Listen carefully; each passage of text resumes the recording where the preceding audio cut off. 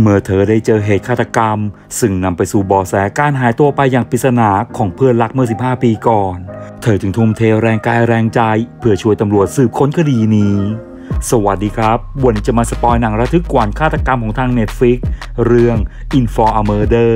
ฆาตกรรมจำต้องสืบ หนังปี 2021 นำแสดงโดยแอนนาสโมโลวิก พาเวลโดมาการ่า และไซมอนโพบอฟสกี้ถ้าพร้อมแล้วก็ขอเชิญรับชม และรับฟังกันได้เลยครับหนังกล่าวถึงมักดา ธอเป็นแม่บ้านบ้านนิยายนักสืบ มีลูกอยู่สองคน และอยู่กินกับสามี ที่ดูเหมือนจะไม่ค่อยใส่ใจเธอเลย แต่วันหนึ่งเธอก็พบใบเสร็จซื้อน้ำหอมทำให้เธอดีใจมากขณะมักดาพาสุนัขของเธอไปเดินเล่น เธอก็โทรศัพท์ไปบอกเพื่อนสนิท เรื่องที่สามีจะซื้อน้ำหอมให้เธออย่างอารมณ์ดี เพราะเธอแอบไปเห็นใบเสร็จมา แต่เพื่อนก็บอกให้เธออย่าเพิ่งมั่นใจ เนื่องจากสามีอาจซื้อให้คนอื่นก็ได้ อีกอย่างสามีก็ไม่ได้ซื้อของให้เธอมานานมากแล้วทำให้เธอรู้สึกแย่ ทันใดนั้นสุนัขที่เธอปล่อยไปเดินเล่นก็เห่าเสียงดัง เธอจึงเดินไปดู แล้วก็พบศพของผู้หญิงคนหนึ่งต่อมาสารวัตรก็มาดูสถานที่เกิดเหตุ และเดินมาหามักดาที่กำลังแปลกใจ เพราะไม่เคยมีเหตุฆาตกรรมในเมืองเล็ก ๆ แห่งนี้มาก่อน จากนั้นเธอก็สาธยายถึงรายละเอียดคดีวดใดเดินสวนกับชายขี้เมา พบศพตอนกี่โมง และดาว่าผู้ตายไม่ใช่คนเมืองนี้ด้วยทำให้สารวัตรตกใจที่เธอพูดถูกหมดทุกอย่าง แต่โดยไม่อยากให้เธอมาวุ่นวายก่อนเลยไล่เธอกลับไป ขณะมักดาและครอบครัวกลับมาจากนมัสการพระเจ้า สามีภรรยาคู่หนึ่งก็เรียกเธอไปคุย โดยถามถึงเหตุฆาตกรรมที่เกิดขึ้น แล้วก็ทักที่เธอยังใส่สร้อยสัญลักษณ์ตัวเอ็มเส้นเดิมเหมือนกับแวโรนิก้าอยู่ พร้อมชวนเธอไปดื่มชาที่บ้าน เพื่อพูดคุยเรื่องแวโรนิก้าลูกของพวกหล่อน แม้สามีของหล่อนจะทำท่าทางไม่ต้อนรับ แต่มักดาก็รับปากว่าจะไปเมื่อมีโอกาสครับ ต่อมาก็มีสัตวแพทย์หนุ่มเข้ามาทักทายมักดา และชวนเธอไปทำงานที่คลินิกด้วยกัน สามีที่เห็นหมอบางขยันขยอโดยความหึงหวงจึงตัดบทว่ามักดาจะอยู่บ้านดูแลลูกจนกว่าจะโต เธอจึงจำใจต้องปฏิเสธไป และพอเห็นสัตวแพทย์หรือหมอไปแล้ว เธอก็เลือไปเห็นป้ายโฆษณาของคนทรงทำให้เธอคิดถึงเหตุการณ์ในอดีตเมื่อ 15 ปีก่อน ที่เธอไปขอร้องคนทรงให้ช่วยหาแวโรนิก้าเพื่อนซีของเธอที่หายไป แต่คนส่งก็ปฏิเสธยังไม่ใยดี โดยไม่มองแม้กระทั่งเงินค่าจ้างที่เธอมอบให้ด้วยซ้ำพร้อมกับบอกกฎของจักรวาลว่าสิ่งที่นำมาแลกต้องมีมูลค่าเท่าเทียมกัน หรือจำนวนเงินต้องมากกว่านี้ทำให้เธอเสียใจมากดานสามีของมักดา เขามาตีเทนนิสกับภรรยาของแชดผู้ทรงอิทธิพลในเมือง เพื่อหวังจะมีลู่ทางให้กับอาชีพของตัวเอง ดังนั้นหลังจากเล่นเทนนิสเสร็จ เขาก็ชวนแชดกับภรรยาไปทานอาหารที่บ้าน ทว่าแชทก็ปฏิเสธยังไม่ใยดี แต่พอแชทรู้ว่ามักดาเป็นคนเจอเหตุฆาตกรรม แชทก็ตอบตกลงจะไปทานอาหารด้วย เมื่อทั้งหมดทานอาหารเสร็จ ภรรยาแชทก็ชวนมาดูภาพในงานเลี้ยงของว่าที่สววันก่อน ส่วนแชทก็ถามซอกแซกกับมักดาว่ารู้อะไรมาบ้างกับเหตุฆาตกรรม ซึ่งเธอก็ตอบสิ่งที่รู้ไปทั้งหมด จนไปเจอภาพที่ภรรยาถ่ายคู่กับผู้หญิงที่โดนฆาตกรรม จึงรีบโทรไปบอกเรื่องนี้กับสารวัตรที่อยู่บ้านข้างๆทันที แต่สารวัตรก็ดันไม่รับสาย และพอจะกลับมาคุย เธอก็พบว่าแชทกับภรรยากลับไปแล้ว ซึ่งสามีก็โทษที่เธอเอาแต่คุยเรื่องศพพร้อมกับลูกหนีไป ส่วนมักดานั้น พอไปจ้องมองภาพ ก็พบหญิงที่เสียชีวิต ใส่สร้อยคอคล้าย ๆ เธอ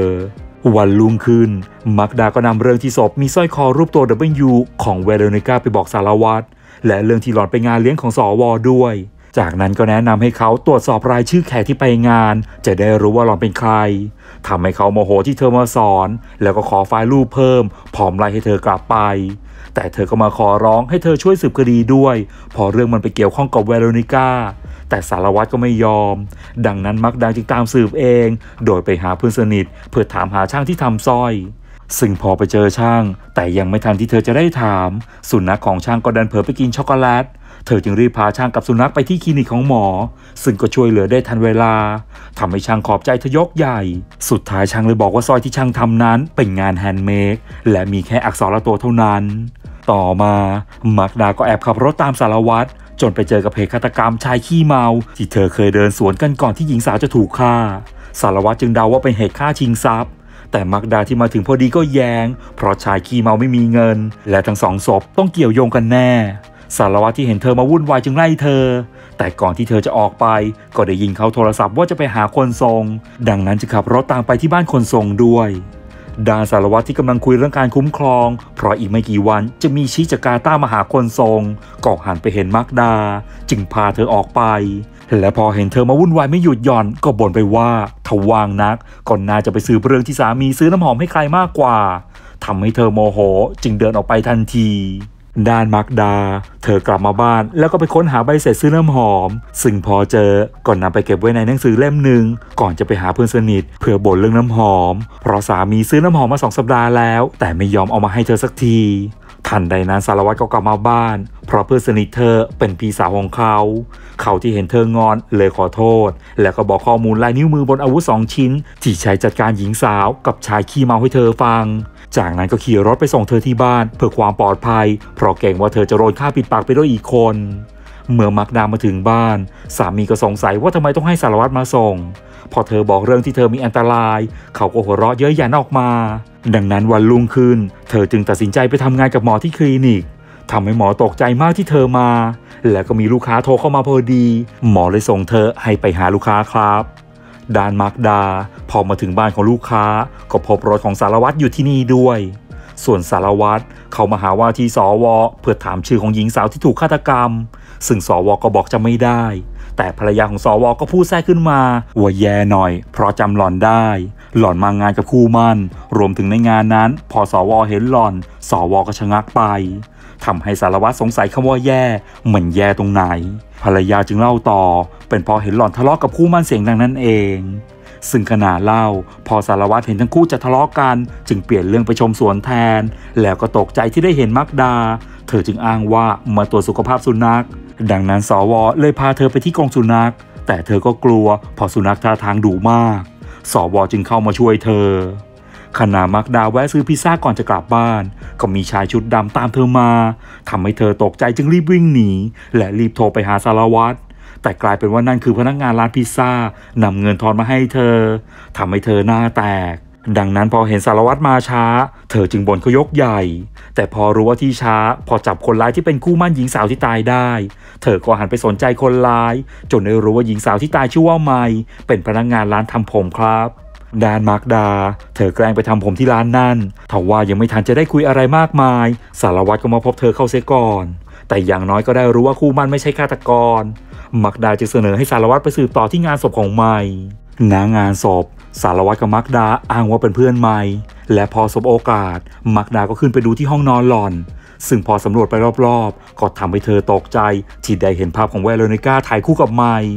แม่ของไมที่มาเห็น เลยบอกทั้งคู่เป็นเพื่อนสนิทกัน จนมักดาปฏิปต่อเรื่องราวได้ว่า ไมคงตามสืบเรื่องที่เวเลนิก้าหายไปเหมือนกับเธอ และคงไปรู้อะไรบางอย่างเข้า จึงโดนเก็บนั่นเองเมื่อมักดามาส่งสารวัตรที่เมามายังบ้านเพื่อน เธอก็บ่นกับเพื่อนที่เวโรนิก้าหนีไปเมื่อ 15 ปีก่อน และไปใช้ชีวิตที่อื่นโดยทิ้งเธอ ทั้งทั้งที่เป็นเพื่อนสนิทกันแท้ ซึ่งเพื่อนก็ไม่ได้ว่าอะไร เพียงแค่บ่นออกมา ถ้าวันนั้นเวโรนิก้าไม่ได้หายไป มักดาอาจจะแต่งงานกับสารวัตรที่แอบชอบเธออยู่ก็ได้ จึงทำให้เธออึ้งไปพักหนึ่งด้านมักดา เธอตัดสินใจมาหาพ่อแม่ของเวโรนิก้า ซึ่งก็เจอแต่แม่ เธอจึงถามความจริงจนได้รู้ว่า เวโรนิก้าท้อง ตอนไปทำงานเป็นเด็กเสิร์ฟที่สนามมา แต่ก็ไม่ยอมบอกว่าท้องกับใคร และนั่นก็ทำให้พ่อรับไม่ได้ ดังนั้นหลอนจึงตัดสินใจหนีออกจากบ้าน ขณะมักดาเดินกลับบ้าน เธอก็พบว่ามีรถขับตามเธอมา ซึ่งก็โชคดีได้ไปเจอกับหมอ จึงวานให้หมอไปส่งเธอที่บ้าน เมื่อมักดากลับมาถึงบ้าน สามีก็แกวะเธอที่มักจะมีผู้ชายมาส่ง สักพักก็ชวนเธอไปดินเนอร์ แล้วมอบของขวัญให้เธอ ซึ่งก็คือน้ำหอม แถมยังทำตัวดีจนน่าแปลกใจอีกต่างหากดังนั้นวันรุ่งขึ้นเธอจึงไปเปิดดูหนังสือที่เก็บใบเสร็จไว้ แล้วก็พบว่ามันหายไป จึงทำให้เธอโมโหมาก ต่อมา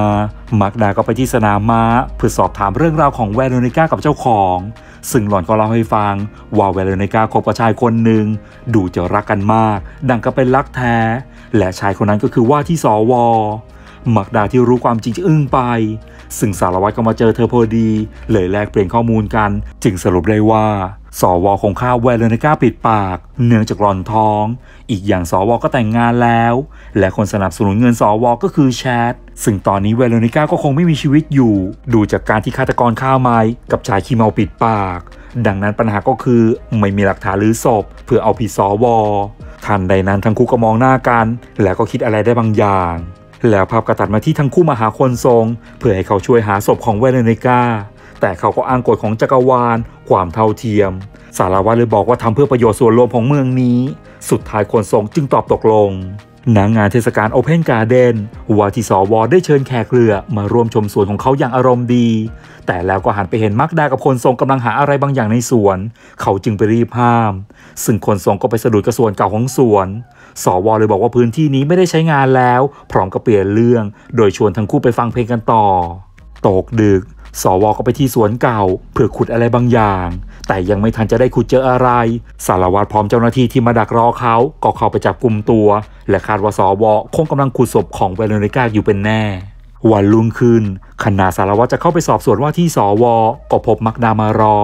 ซึ่งเธอก็ขอเข้าไปสอบสวนด้วย แต่เขาก็ปฏิเสธทว่าสุดท้ายก็แง้มประตูไว้ให้ ก่อนจะไปสอบสวนสวจนได้รู้ว่า สวกับเวโรนิก้ารักกันจริง แล้ววันหนึ่งที่ภรรยาไม่อยู่ เขาก็ได้พาหลอนมาบ้าน แต่จู่ๆหลอนก็เกิดไม่สบาย เขาเลยไปหาซื้อยา และพอกลับมาก็พบหลอนตกบันไดเสียชีวิตไปแล้ว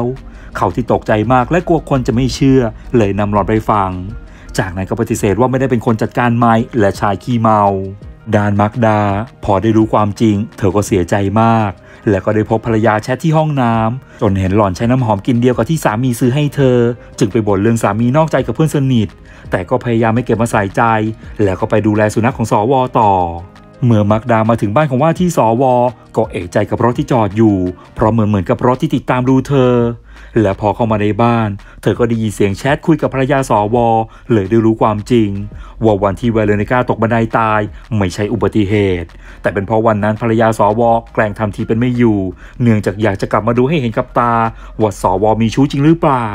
ซึ่งพอกลับมาเห็นเวโรนิก้าหล่อนที่โมโหมาก จึงผลักเวโรนิก้าตกบันไดส่วนไม้ที่มาในวันเปิดตัวสวภรรยาก็คิดว่าไม้จะมาแบล็กเมย์ก็เลยจัดการไม้ซะ ส่วนชายขี้เมานั้นแฉเป็นคนจัดการ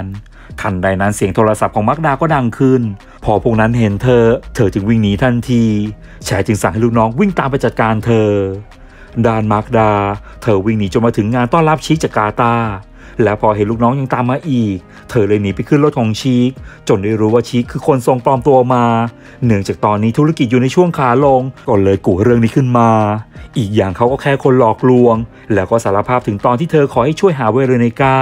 เขาอยากช่วยแต่ช่วยไม่ได้จริง ๆ อีกอย่างก็ไม่อยากโกหกคำโตด้วย เธอที่แต่แรกเกลียดเขาที่ไม่ช่วยเธอหาเวเลนิก้าก็เริ่มมองเขาใหม่ เพราะอย่างน้อยเขาก็ช่วยให้สารวัตรเลิกบุหรี่ และก็ช่วยหาศพของเวเลนิก้าได้ทำให้เขาดีใจที่ทำสำเร็จ หลังมักดาลงจากรถ พอหันไปเห็นลูกน้องยังอยู่ ก็โทรหาหมอกับสารวัตร พื่อนสนิทกับทีมที่รำพัดอยู่เห็นเธอกำลังแย่ จึงช่วยกันจัดการลูกน้อง ส่วนมักดาที่หนีพ้นกอดดันไปเจอแชท แต่ก่อนที่แชทจะจับตัวเธอไป เธอก็แอบถ่ายรูปมันส่งให้สารวัตรกับหมอทำให้หมอกับสารวัตรที่ตามมาและหาไม่เจอ เลยรู้ว่าถูกแชทจับตัวไป ต่อมาแชทก็จับมักดาไปใส่กรงสุนัขของว่าที่สวและจะให้สุนัขจัดการเธอ ซึ่งก็เป็นเวลาที่สารวัตรกับหมอมาถึงพอดี หมอจึงแนะนำเธอว่าไม่ต้องกลัว เพราะทั้งคู่เคยเจอและรักษากันแล้ว ซึ่งก็เป็นอย่างที่หมอพูด เพราะสุนัขเชื่อฟังและไม่ทำร้ายเธอ พร้อมๆ กับแชทและภรรยาสวที่โดนเจ้าหน้าที่จับกลุ่มตัวดานสารวัตรเข้ามาส่งมักดาที่บ้าน และมอบซอยของเวเรนิก้าให้ทำให้เธอดีใจมาก จากนั้นก็เสนอตัวจะช่วยเธอเคลียร์กับสามี แต่เธอก็ขอจัดการเรื่องนี้เอง ดังนั้นพอสามีกลับมา ก็พบว่ามีกระเป๋าเดินทางวางอยู่หน้าประตูบ้านทำให้เขาแปลกใจ เธอที่นั่งรออยู่ จึงหันมาไล่เขาออกจากบ้าน ให้ไปอยู่กับภรรยาของแชท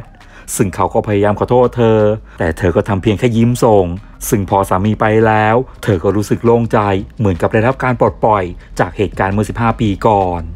สรุปนะครับ ก็เป็นเรื่องราวของมักดา ที่ยังยึดติดกับเหตุการณ์ที่เพื่อนรักหายตัวไปเมื่อ 15 ปีก่อน จนวันหนึ่งเธอได้พบกับเหตุฆาตกรรม ซึ่งก็นำไปสู่เบาะแสการหายตัวไปของเพื่อนรัก เธอจึงร่วมมือกับสารวัตรเพื่อหาตัวคนร้าย และสุดท้ายเธอก็สามารถคลี่คลายเหตุฆาตกรรมได้ จึงทำให้เธอรู้สึกหลุดพ้นโซ่ที่ตึงชีวิตเธอเอาไว้ และกลับมาใช้ชีวิตแบบคนปกติ เหมือนกับคนอื่นๆได้สักที ก็จบไปแล้วนะครับกับหนัง In for a Murder ใครที่ชื่นชอบหนังแนวนี้อยากฟังเรื่องไหนก็แนะนำกันมาได้นะครับ หนังได้คะแนนจาก IMDB 4.7 คะแนน เป็นกำลังใจให้กันด้วยการกดไลค์แชร์ติดตาม และอย่าลืมคอมเมนต์พูดคุยกัน แล้วพบกันใหม่คลิปหน้าสำหรับวันนี้ สวัสดีครับ